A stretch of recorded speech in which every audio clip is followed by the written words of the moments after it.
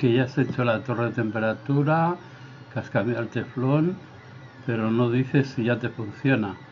Lo de subir una imagen, pues ahora cuando respondas al tema, en esta parte de aquí, pinchas y tienes que subir la imagen de donde la tengas, o vídeos o lo que quieras, ¿vale? Una vez la tengas aquí, se carga el archivo y se puede cambiar el tamaño. Y ahora te voy a contestar en vídeo. ¿Vale?